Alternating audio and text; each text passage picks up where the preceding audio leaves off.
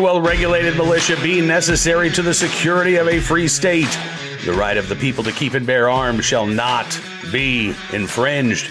Welcome to another edition of Bearing Arms Cam and Company. My name is Cam Edwards. I'm glad you're with us on the program today.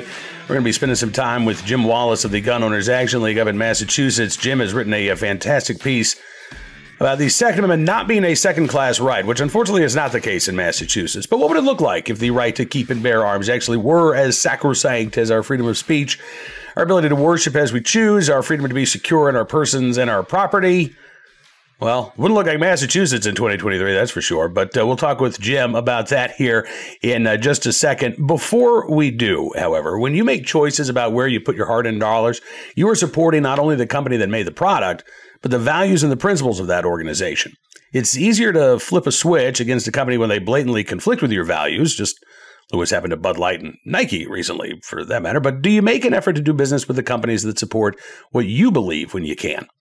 Well, do yourself a favor Give Defender Ammunition Company a shot. These guys are veteran owned and operated, and every person on their staff is military connected. They are huge supporters of the military community, backing causes that are actually making a difference in the lives of those that served. In fact, the profits from all of their logoed gear goes directly to the charities that they back. And this company is one to support. Their ammo's top notch, their customer service is great. What other shipping department writes handwritten thank you notes to their customers? Give these guys a try.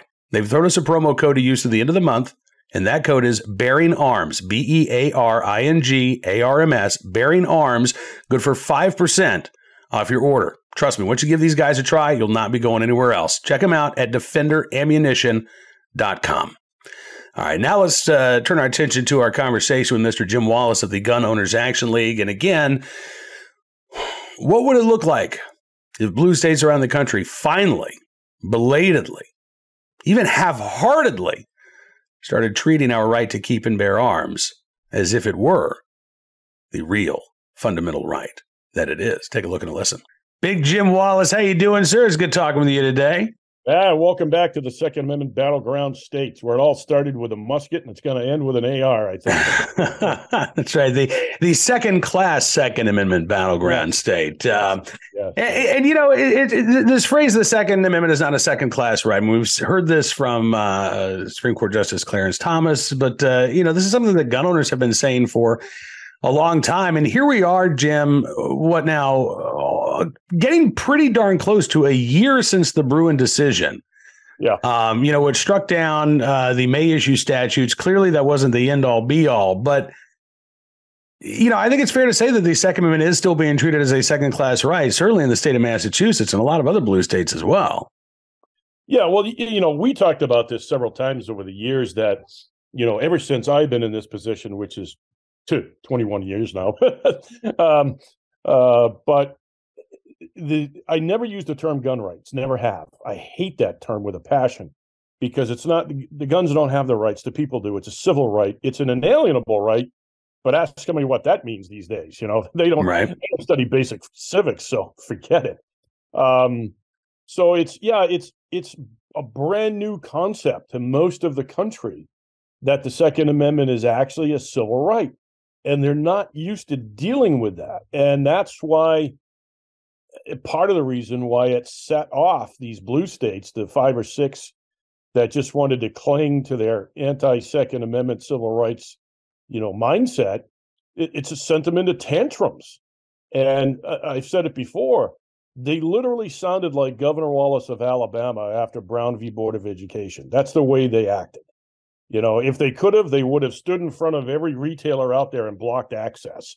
But you know, they were probably scared to do that. But um, you know, so it's it's really interesting. Now, currently we have um, the legislature through the Judiciary Committee in the House is doing what they call a top-down review of the gun laws, and they are holding listening sessions around the state. Matter of fact, there's one tonight way out in Greenfield, which is uh, the Pioneer Valley, one step you know from the Berkshires, but uh, and this one, and they have different subject matters. Uh, like this one's going to be about hunting and retailers. There was one about suicides. There was one about domestic violence. You know, so they're trying to hit all the all the keynotes. But the interesting thing is, the first conversation we had was okay. So if this is a top down review, what are you willing to repeal? Or are you willing to repeal? Or is this trying to make bad lo- bad gun laws a little better to understand? Mm-hmm. Because even the attorney working for the chairman, her name is Alex, and uh, we met we met with him, and she goes, Jim, I've been trying to figure out these laws for two months. And I said, Hey, we've been trying to do it for 25 years. So good luck. you know? And she was just like, Oh my God, I can't get through this. And I said, Don't try. You're just going to hurt yourself trying. So, and, you know, most people don't probably realize outside of the state, there's a retired police chief who writes the reference book for the gun laws in Massachusetts, and it's over 400 pages long. So there's no way the average citizen could comply Period. Yeah. You know, as much as they want to, they're they're gonna violate something somewhere. Uh, so our message now has to be, and this should be across the country, whatever you do to us, you must then do to every other civil right. And last night I was talking to somebody. I said, okay, for instance, if a drunk driving conviction rises to the level of negating a civil right, then it must negate all civil rights. You can't pick and choose. And even though I can't name the case, I'm pretty sure there was a Supreme Court case about that years ago where they couldn't pick and choose which rights to restore and which rights to revoke. So that means that you would lose your right to vote, you would lose your right to free assembly, you know, all, all of them, right? Because it's not a second class right. Mm-hmm. Whatever you do to us, you have to do to everybody else. And wow, does that set them off because they are just not used to that concept, you know? Yeah, well, and you know, and, and eh, look, I mean, there are in um, in states like Massachusetts, you know, I, I, personally don't consider healthcare to be a a right. I consider that to be a service. I would like it to be affordable. Uh, as yeah. you know, the wife or the spouse of somebody with a terminal illness, I, yeah, I'm, I'm all in favor of healthcare reform, but I, I have a hard time viewing things like healthcare as a right. I remember. Do you remember John Edwards, the uh, former presidential candidate, way back when? Um, I remember he sat down for an interview, and I think it was with it might have been with HBO, and they were just like doing like rapid fire questions, like, "Is it a right?" It was, you know, college. Uh, yeah, it's a right. Healthcare. Yeah, it's a right. Uh, job. Oh, absolutely right. Keep bear arms. Yeah. I don't know about that one. Now he, he hesitated yeah. on that one, right? And, and, but that's exactly what you're talking about. You know, if, if you believe that healthcare is a right, if you believe that universal pre-K is a right, if you believe that access to a college education is a right, I'm not going to disabuse you of that in this conversation, but what happens, as you say, what happens if you then lose your right to keep and bear arms? Should you lose your access to uh, to college? Should you lose your Fourth Amendment right to be securing your person and property? Um, that's what we, we talk about. We're talking about putting the Second Amendment on a on a level playing field with all of these other rights and you're right, it does piss them off, Jim, because frankly, they continue to refuse to recognize that we are talking about an individual right exercised by 100 million plus Americans each and every day across this country. Well, there's a bill that's actually moving pretty fast in mass to restore voting rights to all prisoners currently in prisons or jail in Massachusetts. So, what does that mean? Are you going to restore their second too? you know, because they're in prison. And and the reason was because they feel they're being disenfranchised just because they're in prison. Well, yeah, that's the whole idea, being in prison, you know. But uh, the interesting thing, Cam, uh, not not to get onto the healthcare kick, but this I always find this a little fun, is when I get to speak at universities. Um, this will kind of come up usually when you know what's a right, what's not a right. And the easy kind of phrase I use or the term I use is other than trial by jury, no civil right can depend upon the actions of others. In other words, you can't force somebody to do something for you because you think it's your civil right. And when I get kickback on that, what I tell them is okay, if you truly believe healthcare is a civil right, we currently have nowhere near as many healthcare workers as we need. So what what what are you studying for in college? You know, whatever. Gender studies, not anymore. You're going to be a nurse. Well, I don't want to be a nurse. Sorry. They'll sue you if you don't. And the government now has to make people be nurses because you said it's a civil right. Ooh, that changes the conversation real quick. and then I'll get the kickback though. Well, you can't make your own gun. Actually, Yes, I can. And I trained as a machinist years ago, so it's even better. I can make anything I pretty much want. You just don't want me to. So, you know, my my independent civil right of the Second Amendment is self-independent, but you just won't let it happen. So uh, you know, again, another excellent point because uh, we have the right to keep and bear arms, which means we must have the right to acquire them. Um, but you know, again, uh, yeah. either that could be you know through a, a, a sale, it could also be through making your own gun, which now, as you point out, a lot of states are trying to make illegal. Right. Uh, right. They don't want you to make your own gun, and they don't want you to be able to uh, go to a gun shop easily either. Um, and when you drive an hour and a half to your nearest gun store, they want you to wait ten days and then drive back to go pick up your gun. Maybe maybe twenty, maybe thirty, maybe sixty days. Uh, you know, all sort of depends. Uh, but again, it's another aspect of of treating this right as if it is some sort of privilege to be doled out by the uh, the powers that be. Um, yeah. I'm curious with this current, you know, listening tour taking place around the state What's happening at the state capitol? Have have the Democrats in charge decided, all right, let's take a, a breather on passing gun legislation this year and we'll gather up all this information and then make a full push uh, in 2024? Are there stuff flying under the radar? Like, how concerned should gun owners in Massachusetts be right now about what's going on this session?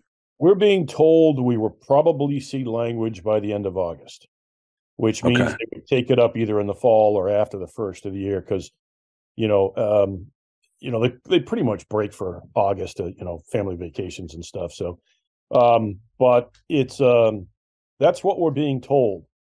But and and even the chairman was on it. I mean, he's a, he's a good guy. I mean, he's in leadership, so you know they have to do what they do. But he was honest with us when we met with him and said, "There's so many conflicting sections here that whether we get rid of them or change them or whatever, they just don't make any sense together." And I said, "Wow, Good. You've been paying attention. So, it, and it reminded me when I was in basic training, and my drill sergeant said, You have the best equipment money can buy that are all made by different companies that don't work together. and I'm like, Yeah, that's the gun laws, all right. There you go. so, you know, the gas mask doesn't fit this and that doesn't fit that. And it's like, Yeah, well, okay.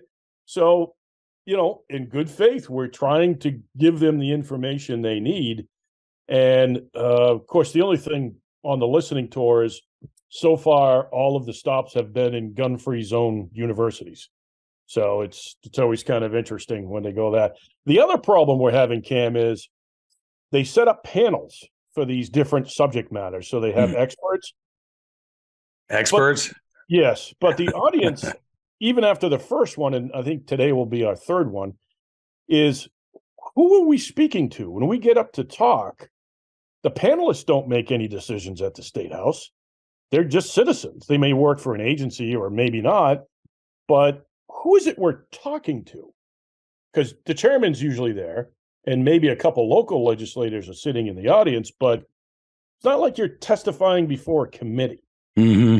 And so the panel, so far in the last two, will take anywhere between an hour and an hour and a half. And then, you know, whether it's our side or somebody else's opinion, everybody should get a say. But then there's only maybe 40 minutes left, whatever, half hour left, and they get a few people and then and then call it quits. So, you know, it's always kind of an interesting process. It's like the hearings in the state house, you know, because I've been doing this 25 years, but eh, every time we have a hearing, they always announce that the first people allowed to testify are government officials and elected officials because they have busy schedules. Meanwhile, the people who took a day off of work to go into Boston to speak for two minutes are told to wait until the government officials are done. You know, talk about just a stick in the eye, right? Well, apparently it's not just the Second Amendment that's treated as a second yeah. class uh, right uh, in Massachusetts. Um, yeah. yeah. you know, I, I, was talking with our mutual friend Charlie Cook from uh, Riding Shotgun with Charlie not long ago, and he went to uh, it was either the first or the second. I think he's been to both of the the meetings that have been held so far. But he was telling me like the the panel of experts, quote unquote, seemed like uh, there wasn't a single uh, pro Second Amendment voice on that panel. I mean, it was all you know anti gunners which really does beg the question. So who's who's supposed to be listening to whom here? Because yeah, it, the way this was built made it sound like you know lawmakers are going to be listening to their right. constituents, but it sounds like if you go, you get yammered at for an hour to an hour and a half about why all these gun laws are great, and then you get a chance to speak your piece. Maybe. Now tonight, that's going to be different. We okay. actually help them because we kind of mentioned what you just said, and it's like, hmm. So they this one which which is about hunting and retailers. So we have one of the biggest retailers uh, in the states going to be on the panel. Um, we have as a hunter, we actually have he's a full well no he's a board member now but he's a retired game warden in Massachusetts. And when he was a game warden, he was kind of their gun law expert. Uh, so that'll be good. So, and then the next one is supposed to be May 7th in Lowell. Uh, and that one's going to be about ghost guns. So that should be fun. well, I'm, I'm, yeah. hey, hey, listen, I'm glad to know that they actually are listening and that uh, this is going to be a little bit uh, different of a format. Um, yeah. Will you come back on after the uh, the ghost gun uh, oh, yeah. uh, stop so we can talk about that? Yeah, if I'll, I'll see if my trick or treat bag's full after the event. boy, wouldn't that be funny if we handed out Halloween candy at that one? Uh, yes, indeed. Jim Wallace of the uh, Gun Owners Action. League. Hey, listen, man, what is your message for Massachusetts gun owners right now? Um, you know, living in this sort of uh, reality where the right to keep our arms is being treated as a second class right. Um, what should they be doing? What do they, you know, what are, what are gun owners doing? What are gun owner action league members doing right now? Here's the big message, especially this year after Bruen. No civil rights battle has ever been successfully won by sitting home and complaining. You cannot do this from behind your keyboard at night on social media and just complain. You have to get out and be visible to be vocal to to make them see that listen there's five six hundred thousand of us in this state. We are not just some obscure piece of population that you can ignore.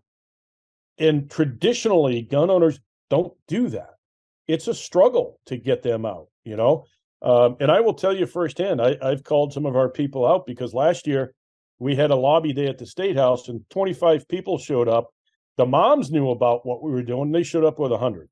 So, you know, we got 18,000 members and 25 people show up.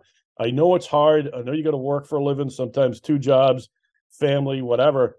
Listen, this is your civil rights. This is an historic time in our lives for the Second Amendment. You can't do this sitting at home.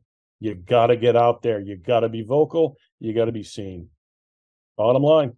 Absolutely. Well, Jim Wallace, listen, man, I appreciate you using your voice uh, and uh, dedicating your time in defense of our right to keep and bear arms. Uh, I am looking forward to having you back on the show again very soon. And thank you so much for coming on the show today. Absolutely. Well, I have to use my voice because I got a face for radio. So you and me both, big guy. Jim Wallace, I will uh, talk to you again very soon. But thanks for joining us here on Cam and Company. All right. Thanks, Cam. I appreciate Jim being with us, and uh, I am looking forward to having him back on after that uh, ghost gun hearing here in a couple of days. Right now, let's turn our attention to today's armed citizen story, our uh, good deed of the day, and our recidivist report. Actually, before we do that, here's something we have to really think about. What is happening with the banks? It's literally crazy. Can you imagine what this is going to do to the retirement savings of America? Now, I want to tell you what I heard from Augusta Precious Metals. Gold buying is on fire right now because people want gold IRAs to protect their retirement savings. And get this if you have 100000 plus saved for retirement, Augusta will pay you in pure gold to learn how gold IRAs can protect you. That is a big deal. A pure gold coin for free. Reach out to Augusta Precious Metals today and learn how you can get started with gold. Don't let bank failures get you down. Get this free gold and get some peace of mind.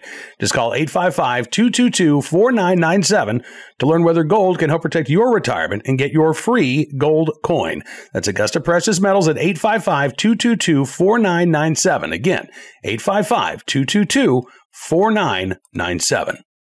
All right, now let's turn our attention to today's armed citizen story, our good deed of the day, and our recidivist report. We'll start there with a, a story out of WUSA uh, in Washington, D.C. Talking about a neighborhood living in fear of a sex offender who has been repeatedly released from jail after arrest. As they note, sex crimes charged as misdemeanors often prevent judges from detaining offenders, leading to more victims. This is something that uh, you know DC officials are well aware of, and yet they have done nothing to change the untenable status quo. So you've got this uh, guy who's been arrested again multiple times over the past couple of years. Uh, most recently, back on April 13th, 54 year old Derek Jones back in handcuffs after the Metropolitan Police accused him of sexually abusing a five year old girl by allegedly exposing himself and uh, fondling himself in front of her in the Mount Pleasant neighborhood. Judy Clayton is uh, one of Jones's neighbors and is a part of a group of neighbors that's been reporting on Jones for about three and a half years. DC police first arrested Jones for exposure in 2018. In this case, fondling himself in front of four kids at a DC public library. Now, under DC's criminal code, uh, lewd, indecent, or obscene acts is a misdemeanor. Period. There, there's no felony version of that. If you're whipping it out and exposing yourself in front of kids at a public library, that's always going to be classified as a misdemeanor. Uh, and that was the case for Jones. DC Criminal Code also prohibits judges from detaining defendants on misdemeanor charges. So, Jones was released after he was arrested, and then he didn't show up for his court date. In 2021, Jones was arrested again, this time for exposing himself and committing lewd acts on the Metro at the Columbia Heights station. A Jones, uh, judge found Jones guilty, according to WUSA, but suspended his 30 day prison sentence and put him on supervised probation instead. Yeah. Jones went back to his Mount Pleasant neighborhood. Neighbors told WUSA that he continued to repeatedly expose himself while committing lewd acts. It was so brazen they were actually able to capture it on camera. He was uh, even filmed exposing himself right by an elementary school. Uh, the elementary school principal even called police. Uh, but it was not again until a couple of weeks ago that, uh, well, I take that back. In 2022, Jones was arrested again on a misdemeanor charge of committing lewd, and indecent, or obscene acts, this time at a bus stop in the Mount Pleasant neighborhood with uh, children witnessing him fondling himself. Once again, misdemeanor charges. Since he was on probation at the time, a judge gave him the maximum sentence allowed by law 90 days in jail. That's it, 90 days. And then he was free to go until he was arrested again a couple weeks ago, once again charged with misdemeanors. Now, Jones's defense attorney, uh, Raymond Jones, says that it's not the length of the sentence that's the problem. He says, What services are we providing? The recidivism. How are we stopping people from coming back to jail again? And we can say, Well, let's lock them up. That's the key, but the person has to get out. We can't lock up a misdemeanor person for 25 years, right? No. I mean, you could classify repeat offenses as a felony. You could do that, which is a step that Washington, D.C. hasn't taken. Um, but Jones does have a point. The system isn't working here criminal justice system is spitting this guy right back out on the street no matter how many times he commits these offenses. And where are the mental health services? Where is the involuntary commitment if Mr. Jones can't keep diddling himself in front of school kids? If the criminal statutes don't provide for him to be removed from society until he quits diddling himself in front of school kids, what about the mental health laws in Washington, D.C.? Can't tell me that uh, Mr. Jones is entirely in his right mind if he is repeatedly whipping it out and exposing himself to school children. Now, again, I happen to think that would rise to a felony level offense at some point, but uh, powers that be in Washington, D.C. clearly disagree. Nor are they interested in improving their mental health access so that individuals who are troubled uh, can get the help that they need and perhaps even the confinement that they need in order to protect the broader public at large. Nope. Instead, they're too busy uh, trying to criminalize the right to keep and bear arms, going after legal gun owners, doing everything that they can to cut down on the right of self defense, while uh, repeat offenders like Mr. Jones get a slap on the wrist or a spank on the monkey, I suppose, and uh, are sent on their merry way.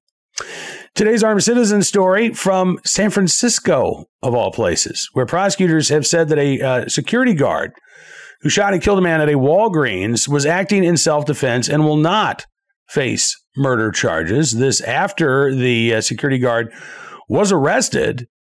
Um, but now Michael Wayne Anthony has been released from jail, a free man, and will not be facing any charges in connection with that shooting.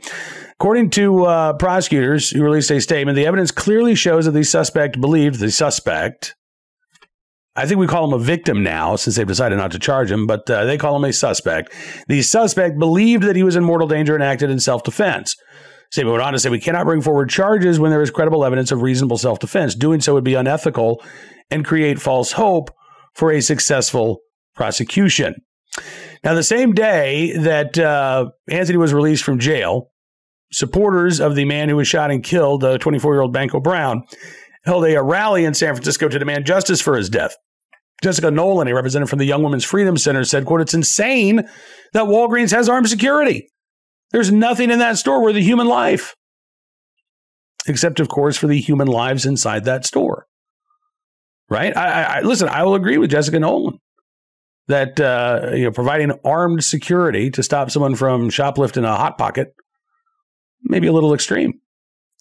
However, uh, there is genuine concern in San Francisco and a lot of other cities that uh, shoplifters can become violent themselves. Uh, and so, yeah, there is a need to protect and defend not only the uh, employees of the store, but perhaps the customers as well. Uh, and in this case, again, according to prosecutors, the security guard was acting within the law and was acting in defense of his life, or perhaps the lives of others, when he shot and killed Brown. We'll uh, see if we can find more details on this case and uh, bring them to you. Uh, but today's uh, good deed of the day, we got plenty of information about that.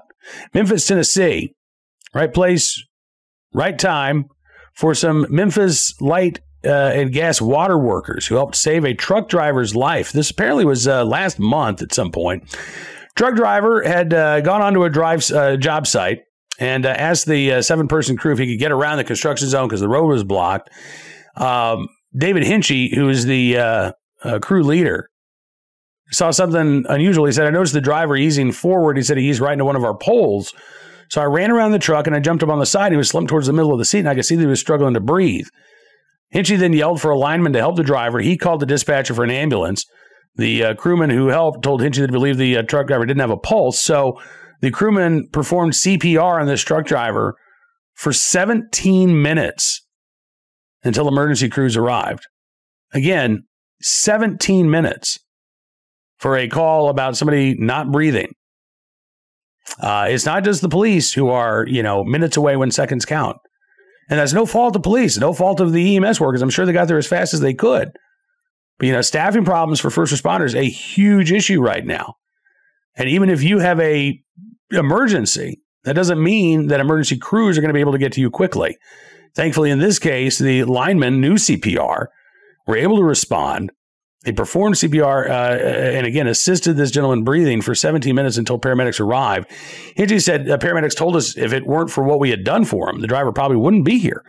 This all boils down to training from working at uh, MLGW. We're trained on how to react in an emergency like this. So, in addition to Hinchy, uh, Shadburn Old III, Daniel Reed, Thomas Malone, Cade Shackelford, Justin McCarter, and uh, Zachary Doty all in the right place at the right time, willing and able to do the right thing to save the life of another. And we thank you for your very, very good deed. Now, that is all the time we've got for you in this edition of Bearing Arms Cam and Company. I want to thank you, as always, for being a part of the program, and I'm looking forward to being back with you tomorrow for a Hump Day Wednesday edition. Uh, do check out BearingArms.com throughout the day that we've got you covered on all of the major Amendment news and issues of the day, including uh, an appeal to the Supreme Court to weigh in on a gun ban in Illinois, not the uh, statewide ban, but a gun ban case. More armed citizen stories, the latest legislative updates, good and bad from across the nation. It's all waiting for you there at bearingarms.com. And if you like what you see, I'd encourage you to become a VIP member. Not only will you get the warm, fuzzy feeling of knowing that you are supporting the independent pro Second Amendment journalism that we're doing at Bearing Arms, but we're going to give you exclusive content, news stories, analysis you won't find anywhere else because your support really does matter and it truly makes a difference. So thank you again. Just go to bearingarms.com slash subscribe. Use the promo code GUNRIGHTS. You get a significant savings on your VIP membership. And again, thank you for your support. We'll see you back here tomorrow. Until then, be well, be safe, and be free.